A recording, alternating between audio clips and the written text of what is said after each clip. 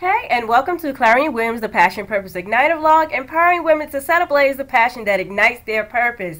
Today we're talking about You Inc. You Inc. You Incorporated.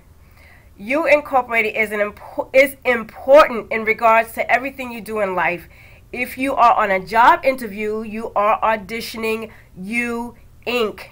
Even when you're in school, whether you were a gifted child going into a gifted school program or entering college, even some specialized high schools require you to represent well.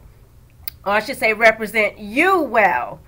You Inc., you Incorporated should always be at your very best. Think about when you go into a bank and ask for a loan or a line of credit.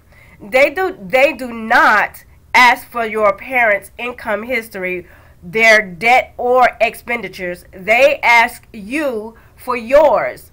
Relationships as well.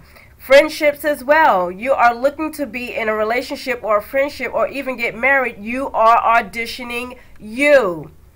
Take heed to the importance of you, Inc. Be proud of yourself. If you feel there needs to be some improvements, then do whatever it takes for you to put the best foot of you forward. If you have been inspired to put your best foot forward and will strive to be the best you Inc. or you Incorporated, like and share or leave me a comment below. You are important. Never forget that. You Inc., you Incorporated, you are important.